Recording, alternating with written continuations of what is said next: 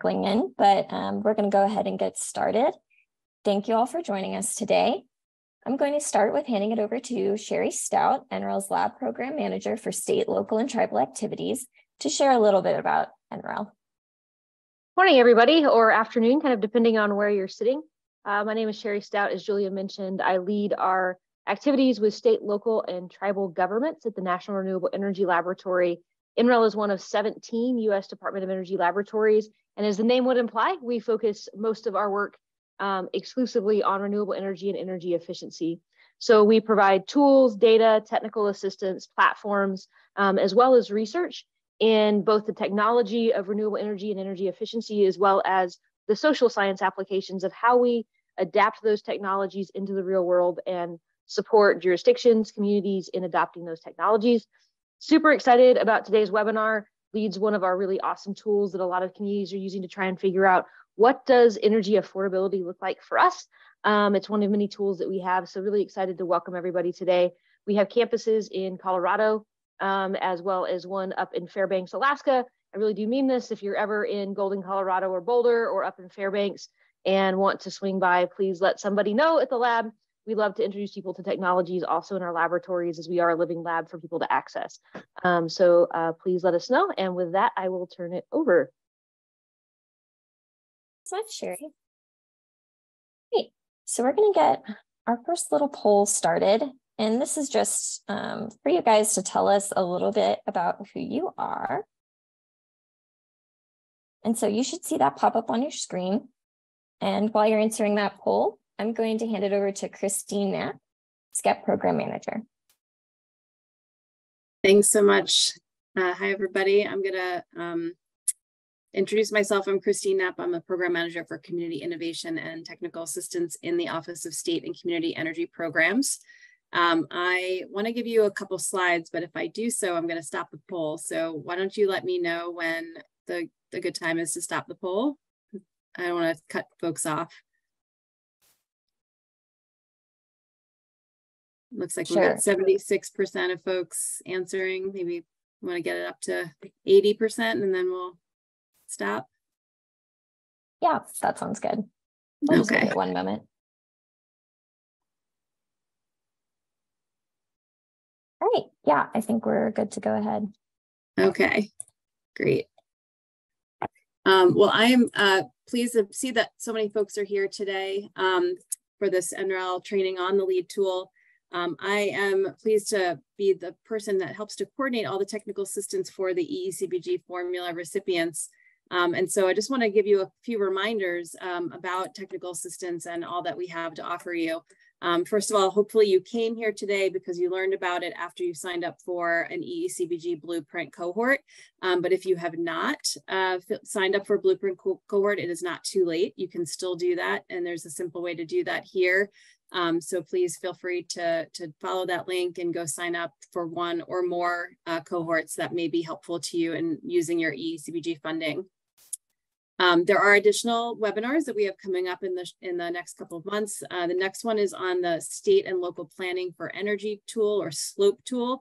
Um, this is a really helpful tool. Uh, even if you already feel like you understand a lot about your community, it's still really great to dig into some of the data there and look at decarbonization strategies for your community and understand how that data can uh, play into your EECBG project and planning. Um, so I really encourage folks to attend that one, no matter where you are in your uh, in the, development of your project uh, and your use of the funds. Um, there's also going to be another blue, blueprint cohort session on uh, project planning sort of a 101 entry level for how do you develop your plan for using your EECBG funds um, and some you know case studies and examples and you can give feedback and find out where else you could use some support so we can continue to set up uh, trainings that are helpful to you. Um, a couple of other quick reminders before I pass it back to the team. If you haven't yet filled out your pre-award information sheet, we really encourage you to do that as soon as you can. Um, the, one of the reasons why is because once we see a little bit about what you are planning on doing in your pre-award information sheet, it's help helps us better create these sort of support networks for you and make sure that we've got the technical assistance you need. Um, but also it helps you take your next steps so that you're not holding all those steps to the very end, end of the deadlines, right? So as soon as you get your pre-award information sheet, uh, you'll get an invitation to sign up in Page and take all the next steps you need to get the, your funding. Um, so make sure that you're aware of those timelines for the grants that the deadline is, uh, you know, they are coming up. And if you are uh, a location that's interested in taking uh, advantage of the voucher opportunity instead of the direct grants, um, we do have a voucher handbook and templates right now. The application for that is not yet open, but you can take a look at all the information that will be required for those that application when it's open. So you can get ready for that now. Another reminder that we have um, open applications right now for our Community Energy Fellows program. So basically you can get a DOE sponsored staff person embedded in your community for 18 months to help you implement your EECBG project and increase the impact of the project. Um, so hosts are host locations that will house these uh, fellows are those applications are due October 4th. So please get your applications in if that would be helpful to you and knowing what we know about what you've all said about local capacity to deliver. This should be something that we hope it helps folks with um, having that capacity. Uh, lastly, don't miss out on technical assistance from NREL. Besides today's great support, they also are providing support on building out your energy efficiency and conservation strategy or your EECS document. That's a required piece of your application submission. And if you want to get 10 to 20 hours of help filling that out and understanding sort of what's the best strategy for you to focus on, NREL is there to help. So please make sure you're taking advantage of that um, opportunity. Um, and just a quick recap of some supports for you. If you have questions about your pre-award information sheet, your application, your eligibility, voucher information, etc., there's the email address there, the EECBG at HQ email address. If you have questions about blueprints or the cohorts or the fellowship or any other technical assistance, there's the technical assistance email address.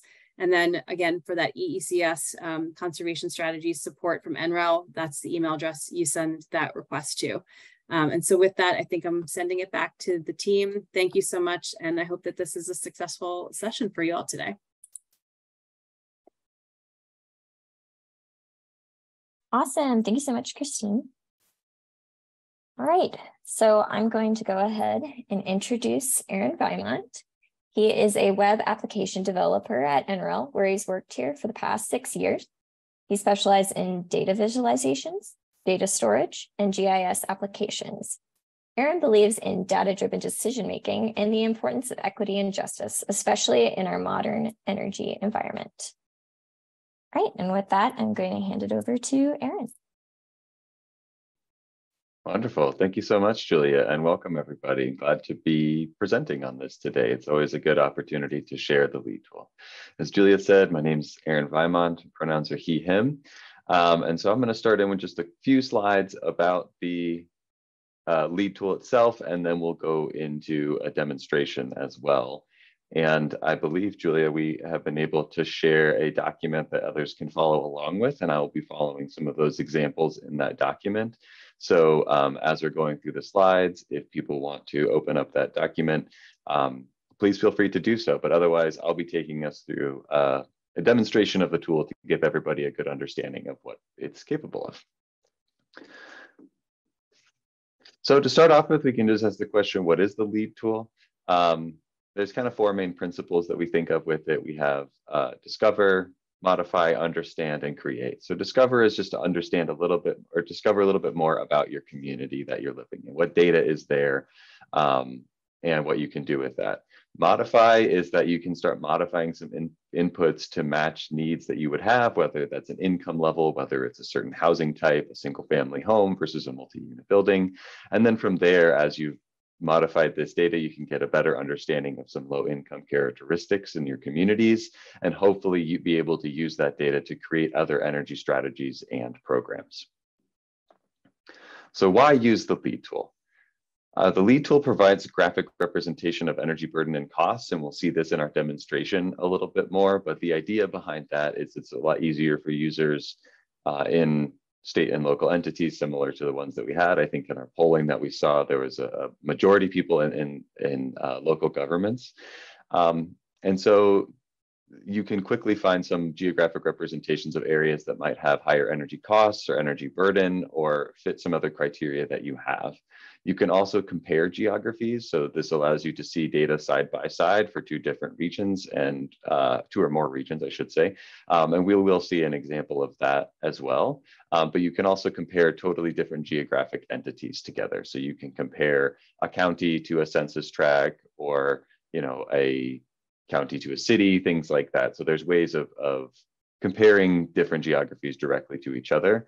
And then this should allow people to see some inequities in different regions and uh, observe some of these disparities across different income groups, borders, state borders, county borders, etc. So we want people to use the lead tool as a starting point so you can find some of these areas and make more informed decisions about energy programs and energy strategies based on that. Just a little background about the LEAD tool. It was originally created as what's called the CELICA program, the Clean Energy for Low Income Communities Accelerator. You have to have an acronym if it's going to be any governmental program. Uh, so this one was CELICA.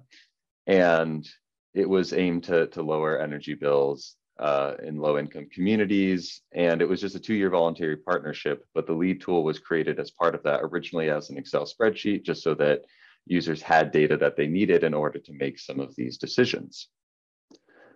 And the information that's in the LEAD tool is, I've, I've, hinted at this a little bit already, but we have national, state, county, tribal, and city data. Um, and this underlying data is all at the census tract level.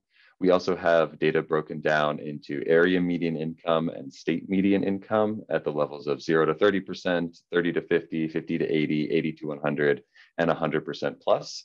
As just a note on that, we are planning on tweaking these some to match a little bit more of some of the requirements that are in the bipartisan infrastructure law and the Inflation Reduction Act. Uh, so that will include AMI of zero to 150% and 150% plus. So we will be adjusting these in the future just so people are aware to make it a little easier to find areas that may or may not qualify for some of the programs uh, in those bills. We also have uh, data broken down by households at the federal, uh, in groups of the federal poverty level. So you can see those here. Uh, we also have, this is all based on uh, the housing units themselves. So we have the tenure, whether it's rented or owned, uh, the year that the building was constructed, the number of units in the building, and then the primary heating fuel type. And then for energy burden, this is calculated as a percentage of the energy expenditures to the energy, excuse me, to the whole uh, income of the household. So um, whatever you're spending on energy costs is calculated as a percentage based on your income. Um, and then we do have all 50 states, the District of Columbia, uh, Puerto Rico and tribal nations in here as well. We also have added in demographic data as well as educational attainment data, and those are at the individual level, not the household level. Um, and we'll get into that a little bit more as we see some examples in the tool. Uh, so just a little bit more information uh, here before we get started is the uh, LEAD tool data is based on the Census Bureau's American Community Survey that happens every year, um, but we're using the five-year average that they put out. Um, so now we have 2015 through 2020 currently. There is a planned update to use 2022 data when it is released in early 2024, according to the Census Bureau's website. Um, and then we do have some other utility forms that it's calibrated against to make sure that this data is um, still in, in a uh, realistic standing of what people are actually spending for their energy costs. So with that, I think we're going to do one more quick poll. And after that, I will jump into a demonstration. So Julia, are you able to start that poll for us? Yes, there we go. So give folks a, a few minutes to answer this. Um, and hopefully the lead tool can start helping us answer these questions. And I'm going to go ahead and drop the link to the guide in the chat again. And this is going to be, um, you can go to this box link and download the guide from there. That's just going to help you follow along. And I will also drop the link to the lead tool. And I saw somebody asking, and these are recorded, so we will be able to share these with you at a later date. And um, yeah, make sure that you include your questions in the Q&A section. Um, that way we'll have a good record of them and be able to answer them at the end.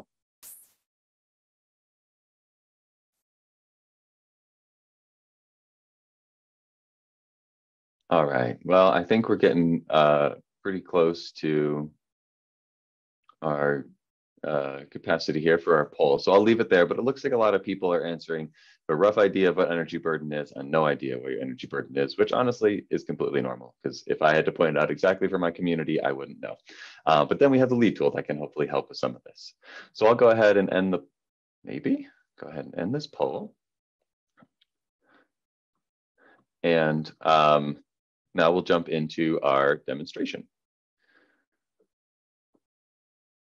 So um, now I'm just going to start with a little bit of walking around the lead tool and then we will, oops, I see my video might be frozen. Can everybody still hear me okay? Okay, looks like it got back. Um, I'll just do a quick uh, walk around of the tool and then we'll start walking through some of the, the dem, uh, some of the lists that we have for our demonstration. So uh, here it is, the, the tool itself on energy.gov. When you first come to the tool, you will see uh, the zoomed out view of the United States. We just kind of start at the highest level. And then from there, we can start delving into more data. But before we do that, let's just look at some of the options that we have on the tool. On our left-hand side here, we have our filters. I mentioned these some in the slides, but this is where we have things for area median income. We have our building age, etc. So we have various filters that we can do here. As we change these filters, it adjusts the data that shows up on the tool. Um, we can also just minimize this if we need to, to make it a little smaller if you want to start maximizing the space that you're viewing. Um, similarly, on the right-hand side, there also is this space that you can minimize if you need to, but on the right-hand side, you can see here we have our legend. This will adjust as you move around the map and more data is loaded, or if you change the output that you're looking at. So in the case we're looking at energy burden, so it's in percentages. Um, but as that changes, you'll, you'll see the, the legend change as well. I mentioned a little bit in the slides that we have some comparisons that we can do, and in our demonstration, we'll showcase that. But this is empty for the moment until we actually have some items in there to compare. And then below that, we have our charts here. This is a way of delving into the data in a little bit more detail than you can get on the map. Um, and we will also, again, all this will be in our in fully in the demo, but just so you know, you can expand and hide the chart here. So you can kind of have a full view where you get to see everything and then just this minimized view so you can kind of see the data update as you move around the map. And then at the bottom of the screen, these are kind of our main controls for the map itself. Uh, here we have the different regions that we can select that we talked about in the slides. We also have different output layers that we can use. So this is things like energy burden, energy cost are the two that we've talked about most often. But we also have the number of households, the income, and then also as mentioned in the slides, we have outputs for different demographic groups here as well, and the highest educational attainment as here uh, at the bottom of it. Um, Next to those, we have a section that are masks. Uh, this is maybe a little bit more of an advanced feature, but this is just a way to start hiding and showing things on the map as you uh, drag those sliders around if there's data that you want to hide or show only a small, sub small subsection of. We also here have our settings. This is things like adjusting the opacity, um, as well as a few other options that we will get into as well. Um, we have, in addition to a map view, we have a list view. So this is, as you would expect, just like a table of the data. So rather than seeing it on a map, you can just view, go through the data here and just see it in a listed out format. Um, and the last thing that I'll show here is we do have a section for downloads. You can always uh, download images of the lead tool and the data from the lead tool. So if this is something that you need to include in a presentation or would like to do so, you can download images uh, of the map and the data that comes from the map, as well as it also can be done for the charts too. Um, there is an option to do bulk downloads, which I'll which I can showcase towards the end. Um, but that's a way just to download like all of the data for a whole state or something like that at once. So we can we can get into that. So with that, um, we have, I'll start walking through just some of the examples that we have in the document that Julia shared with everybody. So we're going to just start through some of the questions that we might want to ask that the lead tool can help answer. So if we start with question one here that we have on our sheet, we ask the question, what is the energy burden in the Golden, Colorado area for low income households built before 1980, right? This is just an example of maybe this is something that you might need to do, ask a question similar to this, is what is the energy burden for this area? Golden, Colorado, as uh, Sherry mentioned at the beginning, is where the National Renewable Energy Lab is. So we'll be using that for our examples. But keep in mind, you know, this all of the all of the uh, instructions that we're doing here apply to anywhere in the United States uh, or on this map as well. So I'm just going to go ahead and, and, and zoom in slowly here. Um, as I zoom in, I just can see I'm, I'm looking at Colorado. Um, and then I just happen to know roughly where the, the golden area is. I keep zooming in and now I can see golden here. So this is at the state level can see energy burden for Colorado is at 2%. So this is not giving me a ton of information. So rather than looking at this big zoomed out level, I will instead switch over to census tracts. And now I'm looking at the most granular data that we have in the lead tool itself. So this will, this will bring up uh, using all the same filters that were applied before to the state level. Now we're looking at all this for the census tract level. You can see here our legend is updated slightly. We haven't modified our data too much yet, um, but the legend has updated with that. So here we are seeing Golden, Colorado. And then I want to uh, adjust my data. So I'm looking at what I would say are low income households. Now this might depend on what your definition will be for low income. In this example, I'm just going to do people who are below the area median income. So they're below half of the income for the area where they are. So in that case, I'll just go over here to my filters and I'll uncheck 100% plus. You'll see the data adjust accordingly. The map will reload and you can start moving around with the data there. But as we see, as we start removing the highest income households, we see a pretty big change in our energy burden right away. Um, similarly, part of the question that I asked originally was what is uh, the energy burden for homes that are built before 1980? So here in my filters, I have building age. We have a list here of before 1940 going up to 2010 plus, but I'm going to remove these last three categories because that should get us up to 1980. So for homes that were built before 1980, now we're looking at the energy burden at the census tract level in the Golden, Colorado area. So as that uh, finishes here, that. I have a quick question in the chat. Sure. Um, someone oh, said yeah. that they don't have the bottom toolbar on their map. Um, they, my guess would be is you just sort of need to scroll down a little bit on the side. So if you scroll all the way down, you should see this black uh, footer on the energy.gov page. And if you kind of stop. Oh, looks like they down, found it you should be able to see it. Totally understandable when the page first loads, it's a little bit hidden. So if you scroll down, then you can kind of get the, the full experience there. Um, okay, of course, happy to do that. So uh, let's, so now we're answering that first question that we had of what's the energy burden for this area? So we start, we start just moving around here. We can see that uh, some of these have higher energy, some of these census tracts have higher energy burden than others.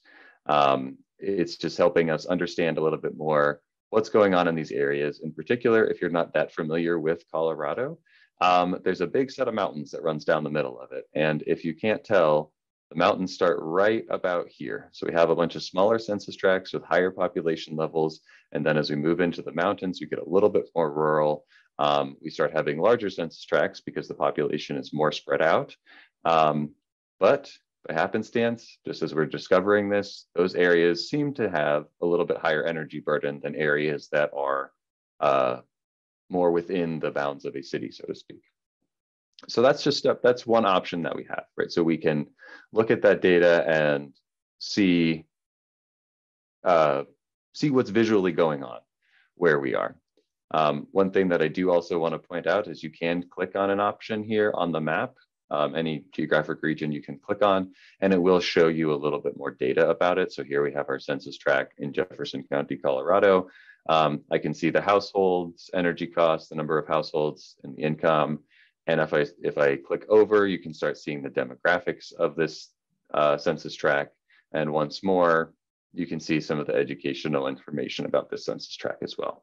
So that's just a way to delve in a little bit deeper into the data without having to do too many clicks. You can just see it right there on the census tract itself.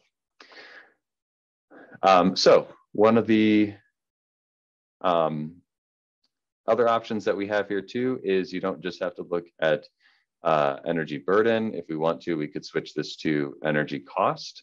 Um, we can see that our legend changes here. And as we move around, we start seeing energy costs for these areas. Um, and so we are noticing again this trend that these census tracts that are a little bit more in the mountains seem to have a higher energy cost. And then we can also go, if we go back, we can see that some of them also have a higher energy burden. So that's just starting to give us a little sense of, okay, maybe these rural communities have a little bit more, slightly lower income and slightly higher energy costs. Uh, might be something we would consider if we're making a program, uh, you know, for, for this area. Uh, I'll go ahead and just switch back to energy burden since that's just a pretty common statistic, uh, data point that we use. Um, but to answer or to ask a similar question along with this data is what types of buildings experience the highest energy burden? This is now jumping to question two in our document that we have here. And this is where we can get into the charts for the tool. So as I showed at the beginning of the demonstration, we can expand our charts here and start seeing a breakdown of the data. Um, one thing I do want to point out here is I have area median income, that's just by default is what's selected, as my x-axis. Um, and because I do not have 100% plus listed in my filters, it's excluded from our charts. So this is just to say that the filters that you do uh, affect the data in the charts on the map and also in this table list view that we have as well. So just keep that in mind as you're as you're going around it. But uh, another option that we have on the chart is not to just look at the area median income, but we have some of these other filters that we can break the data down by. So rather than doing AMI, I'm going to switch to building type. And now I can see here for all the building types that we have, I can look at the energy burden for those. So I start just kind of moving my cursor along here to see what we're dealing with. So it's looking like some of these one unit, uh, one unit detached and one unit attached, those are single family homes, um, has a slightly higher burden than some of these multi-unit buildings, right? Um, then as we scroll over too, we also are seeing pretty high energy burden for, for folks in the mobile and trailer bracket as well. So this isn't uh, a dramatic difference necessarily between these, but you can just start seeing a little bit of the data and understanding that individual units, individual homes seem to have a higher energy burden for what we're currently viewing here on this map. And these multi-unit ones are showing a little bit less. Um, the other options that we have here is we have our X, or excuse me, our Y axis on energy burden. Um, but again, we can switch that. Uh, this is just energy costs. So again, we're looking at one unit detached homes having the highest cost, which just logic dictates makes sense. Um, when you have all of your walls surrounded by heat or cold, you're going to have a little bit higher energy costs to heat that building versus ones with shared walls and things like that. Um, the chart also does show uh, a little bit more of a breakdown of the data. So you can see here we have gas, electricity, and other as costs. Um, and I apologize, I didn't highlight that in our uh, energy burden as well, but we do have that. So we have the cost broken down by electricity, gas, and other. Um, as you might expect for most places, electricity and gas are usually the highest ones, and other will be other brackets that would include things, maybe people who use uh, wood burning as their main heating source. Other would be their costs of like getting wood and things like that. Um, so next, uh, so that just shows a little bit of kind of what the tool does at a little more of a higher level. We're looking at the, the map now, we're looking at this whole area, but as we talked about, one of the advantages of the lead tool is that we can compare regions together. So for the moment, I'm gonna just go ahead and minimize this and head back over to the head back over to the map. Um, I'm just going to use two census tracts as an example, but keep in mind, again, this can be applied to anywhere that, that's on the lead tool. But if I go ahead and click here on Jefferson County Census Tract 9858, um, I see this little green option to compare. Oops, if my screen hasn't frozen, there it goes. Got a lot of stuff going on. My computer's very toasty at the moment. Um, so uh, now I can see that I added this uh, option here to my comparisons. Uh, and then I will go ahead and add a second census tract here so I can start seeing them side by side. So in this case, I'm just going to go to census tract 9854. So these two are side by side, but seem to have some different uh, energy burdens and energy costs. So I will do a comparison on that one. Um, and then the last thing that I will add to this is that I don't necessarily just want to compare a census tract to a census tract. I might want to view it compared to the county as a whole. So in that case, I'm actually going to switch back over here and say, rather than looking at census tracts, I'm going to jump to counties. Now I see that Jefferson County is the one that I was looking at before. So we will add Jefferson County as our third comparison option in this example. So now that these are compared, I can jump back over to my chart and I can start seeing some of this data side by side. So the first thing that you might notice here is that we're, there's not really data for census tract 9858 for any of these other units. So we start understanding that that census tract has almost exclusively one unit detached homes. Now that I will say that doesn't mean it's that's only the case. Keep in mind that we're dealing with survey data here, so there may be some that aren't included in there, but it's at this point we have in the LEAD tool, there's little enough data that we're seeing uh, for other units in this in that one specific census tract. There just aren't enough housing units to justify having that data in, in the tool because one unit couldn't represent that whole census tract. Um, so that's just something to keep in mind here as we observe some of this data. However, we can again start breaking this down differently. Um, we can look then, we'll just go back to area median income as an example. So we can start seeing for people who are in the zero to 30 AMI bracket, so the lowest income people, uh, the, uh, actually, excuse me one moment, I'm just gonna switch this back to census tracts so we can view this uh, together. And you can see what I'm showcasing. So this is our census tract here. Again, it's looking a little bit more rural, um, but this has the highest energy burden for this low income bracket compared to all the others. So if we're looking at making programs, again, this might be something to say this census tract, we know that it has a high number of single unit homes. We know that those people in the lowest income bracket have the highest energy burden. And now we know where we might want to focus our efforts on the most if, if we're going to build a program in this region. Uh, so that's uh, one option that we have there as well. I do also want to showcase that you can break this data down a little bit more, and we'll show some of that. But just as an example, if we wanted to break this down further into like renter and owner, which I'll just do as this example, um, so it doesn't get too cluttered. Again, we start looking at this and see the breakdown of now zero to 30% uh, for renter versus owner, and then here's 60, 30 to 60 for renter versus owner, et cetera. So the data breaks down in a little bit more detail. Again, we start seeing an answer to the question of who do we need to focus on? Um, we don't really have renters in this area or a small enough amount that we might want to instead focus on owners.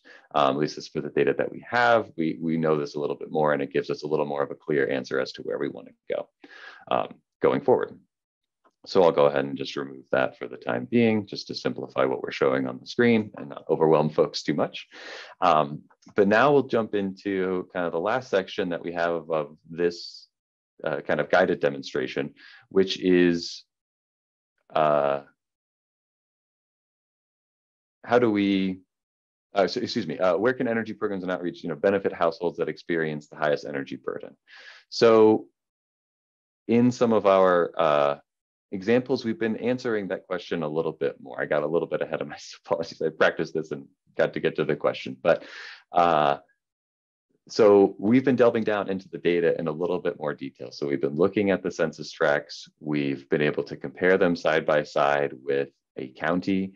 Um, and then if we need to, and this is showcased in this example, uh, we can download a little, we can download this if we want to share this uh, information with other people, like I said. So we can download the map data uh, and it will show for the census tracts that are visible on here. Um, it will save it. It will save it as a CSV format, which is comma separated values. Essentially, you could just open it in Microsoft Excel.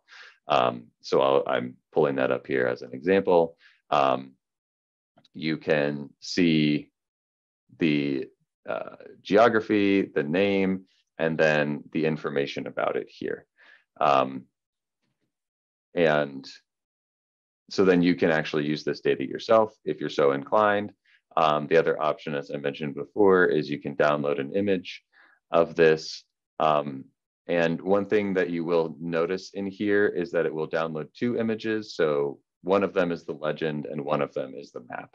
So that way you can put them into, my computer stops freezing on me. You can put those into separately into a presentation if you need to. Um, so you can see both of those there as well. Uh, okay, and lastly, we'll jump into the question of what have what uh, housing types have the greatest energy burden for minority or underserved populations? So this is going to get into a little bit more of the some advanced features of the tool, um, and the, but there is a way that we can group things together for content that is meaningful to us specifically. So in this example, I'm going to group some of our layers together by demographics. So if I click on this map region section and I open up our layers, I can see here for demographics that I can group them together. So for uh, this example, and I think a lot of uh, programs around the, the country might be focusing on non-white populations. So what I'm gonna do is I'm just dragging and dropping the non-white populations, excuse me, into uh, a group. So here I have Black African American, American Indian, Native Alaskan, uh, Asian, Native, Native Hawaiian and Pacific Islander, and then white, Hispanic, or Latino. Um, so I'm leaving the white, non-Hispanic, or Latino out as whether two or more or other, just for this example. But in this one, you know, we could call this non-white or something like that, uh, and we can save. And then as that gets changed, I can now use this around the tool. So if I go here to the non-white population, we can see uh, I mean, uh, in some of these more mountainous rural areas where they can get no white population, but or, or no non-white population, potentially are very small versus the more populated areas of the city. So this is just a an additional feature that the, that the LEAD tool has. You can kind of group things together as as you see fit. And then if we want to start uh, comparing these together a little bit more, or looking at this with other data, excuse me, um, I'll go ahead and expand my charts again here. And for, we're gonna start looking just at this area as a whole. So I'm actually going to remove my comparisons, which you can do just by uh, deleting them off of here. And then the data goes back to viewing the map as a whole. And that's what we're seeing now in the chart is the data for the whole area that we are looking at. Um, and again, we're gonna go back to our example of looking at building types and we see our energy burden here. But then we can go into our, our uh, y-axis and we can have one that shows energy burden. And the second one, we can go down here to our custom group that we made for a non-white group. And that now shows up on our chart. So as we hover across this, we not only see the energy burden, but then we can also see in this case, that in this example, the percentage of the non-white population. So again, going back to maybe answering some of the questions that we had of where do we need to focus our, our efforts for a energy program, energy strategies. So looking at this, uh, if we wanted to focus on higher non-white populations, then we might focus a little bit less on, uh, or higher, uh, excuse me, higher non-white populations with uh, higher energy burden, we may focus a little bit less on these multi-unit buildings and could focus more maybe on some of these two unit or one unit detached buildings. Um, and again, we can also see here there is a decent uh, population and a higher energy burden for folks that live uh, in mobile homes and trailer homes. Um, so that would be a place we could we could look as well. So uh, with that, I do want to show just a few more things so we can see some examples um, and I'll leave it open for questions and I'll try to preempt a few questions as well. Uh, but just similarly, I wanted to show that yes, you can group demographics together. You may have seen this, but you could also group uh, your filters together. So if in this case, you want to do area median income and you just want to have a different group for like low and medium income versus high income or something, you can do that as well. Um, so this might be low income, we might call this median income, and then have the others here. And save that. Well, I apologize. There was a small bug with that. So uh, something to fix, of course, a demo is how you find bugs. Um, so thank you for your patience with that. But um, that is something that you can do as well. You can group filters together. And then similarly, you can group comparisons together. I'll pull up the two that we had previously, and I'll just do a third one as an example. So I have these three here. Um, but if I needed to, I could group two of the census tracts together, and this might be something we would call rural, and the other ones might be urban or something like that. And you can save those and then see that data uh, side by side with it. So you just, you see your rural group together and then your separate group next to it. So there's ways of combining data, barring some of the bugs that we just saw, um, to, to make it a little bit more useful uh, as, as you all see fit as you go ahead and use the tool. Um, then the I'll show just two more things here. The first one will be uh, if you want to download data for like a specific region and you don't want to get it all on the map, you can go into our table view here, uh, which is down on the bottom towards the right. Um, and here again, you can see all the same data that's on our map, but it's just grouped by state, county, etc. So in this case, I can go to counties um, and if I want to, I can filter by, I'm just gonna use Colorado as our example because that's where we've been. So now I can see the counties in Colorado and just see the states and just see the data for that. And then if I want to, I can also go into census tracts and you can see now Colorado is still selected, but I can even filter out the counties that we're in. So in our example, we were looking in Jefferson County. So I can look now at just the 146 census tracts that are in Jefferson County. Um, the same is true for kind of any of the regions that we have up here on, on the top. Um, and then the last thing that I will show is you do have an option is there was like a bulk download, right? So if I wanted to download this, I can now. Um, so if I go ahead and click on download data, you'll see a message. It might take a few minutes because it has to spin this up and it's going to be collecting and downloading the data for you. Um, in this case, this was a super quick one because I'm downloading such little data, but sometimes it might take a few minutes. Um, but if that's the case, then I can just go ahead and click here. Um, it'll download a version of the file. It has that all listed up here. Um, and you can see now, these are all of the uh, all the information for each of the census tracts. We have the state, the county that they're in, energy burden, household costs, et cetera, as well as all of the other data that's associated with it. Um, and at the top of this, you will see uh, a list of filters that was used for it. The um, other thing you may have seen here is this little flag for disadvantaged community. I'll go ahead and uh, just change counties here to see if we can get a good example of that. So um, a disadvantaged community comes from the CEJST tool. This is another data from uh, boy, the Department of Energy. Sorry, can't remember where that one came from at the moment. Um, but we have, and you may have noticed this uh, in some of the settings, but we have added uh, an option to show disadvantaged communities. So these are census tracts.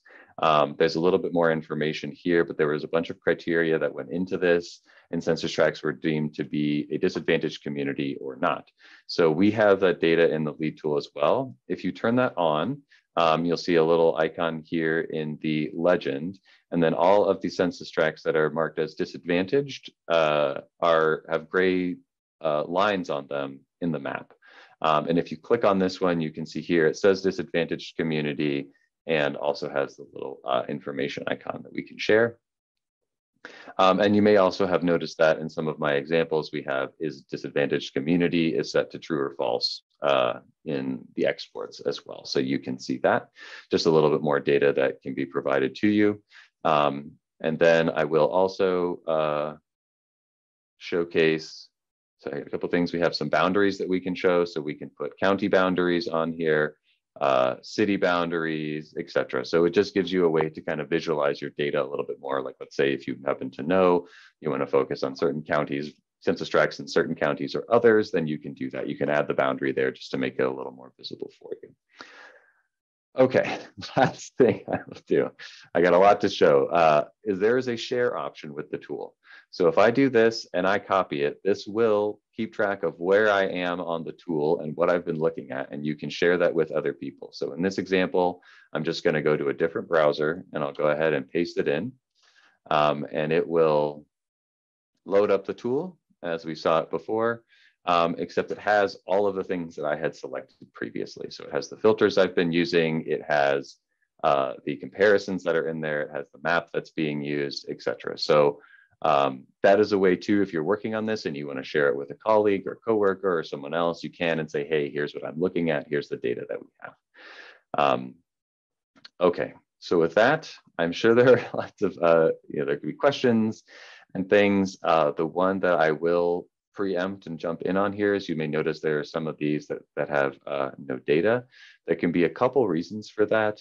The first one is that the Census Bureau just doesn't have data for it. It's possible, so if we want to look at a good example of that, um, if I lower the opacity here, you can probably see it. But two areas that are black on the map here are the Rocky Mountain Wild, this Arsenal Wildlife, uh, Wildlife Refuge and Denver International Airport. So while that is a census tract, there's probably very few people that actually live there. And so there's just not much data and therefore we don't have it in the tool. The other thing that can happen with this is that uh, as you filter data, um, you start excluding values from here. This should be, oh, now this one showed up. Well, there you go, found another bug. Um, but if I start doing a lot of filtering on the tool, on, excuse me, pulling in a lot of filters uh, on the tool. So I'm looking at just a tiny percentage of uh, some of the area median income, or I'm looking at uh, just a tiny, like only buildings built before 1940. It's possible there's no data for that, right? So as we saw in some of our examples when we were looking at the chart, that there was no data for that one rural uh, census tract that we saw. So in that case, if we start trying to filter the data down by stuff that's not there, it's going to show up as just no data. And the last option is it's it's possible there's a mistake in here. So if there's something where you feel like there should be data for this and there's not, you know, that uh, we have no hard feelings about people saying, hey, let's look into this and see what's going on because we're dealing with a lot of data and its potential. There was a small bug or something like that that caused it to be there. So if you see these black areas, um, there may just be no data that's available for them. Um, and if you think that's you know an error or something, we can certainly look into that. So with that, we have uh, just a few minutes left for questions. Sorry, it's a long demo because there's a lot to show. So I appreciate everybody's patience. Um, but uh, yes, so I will leave it there and see um, if we have, are there any questions, I guess? I think, I'm not sure if folks are just able to do it through the Q&A or if we can unmute. Um, I'm not sure what the settings are off the top of my head, but uh, feel free to shoot questions over or you know comments or anything else. In the chat, and I think you showed us that um, share feature, which is great. Um, someone was asking, how do we save the comparisons and groupings? Is there a place to create a login? Um, no, we don't have a login for this. So when you, so in this, I'll uh, go back to here to my other browser that I have. It will remember, uh, it should remember where you were last time you came to the tool. Um, so if I uh, refresh this, it should keep what I had there. But the right now there isn't a login. Logins get complicated. Uh, so there isn't a login option for this. But again, if you do have the share option or you just want to keep that for yourself and say, I want to look at like this old one, that would be the way to do it. So it's a little bit old school, but yeah, you, you can save uh, either through a bookmark or just you know copying it yourself. You could save where you were in that way. Um, all right, I'm going to scroll down through the chat here. Yeah, well. looks like we have one other in the chat at least. Yeah, I see. Sorry, um, bottom save comparisons. The average energy costs include customer account charges, taxes, management, late fees, or just the fuel and electricity costs because it seems very low. Um, that's a good question. I uh, don't know off the top of my head. I didn't originally create this data set. I did build the tool, um, but my understanding of it is it's just the energy costs. So it's not necessarily all the taxes and other things that are associated with it because I know, do know that changes over time as well as we all do thanks to our energy bills. So I believe it's just the energy cost and not all the other fees and extras on top of it. Um, I believe I saw one other question as well from Roger. We have, uh, does household include multifamily units? So yes, uh, well, it depends on maybe a little bit on what you're asking if you need to clarify it, but when we are talking about, uh, in the example on the tool here, uh, you know, we have building type. So this would be, you know, our multifamily unit. So if you want to focus on only, uh, you know, multifamily and anything that's not one unit, then yes, you can go ahead and do that and uh, view, view the data in that format and you can see it adjust um, accordingly.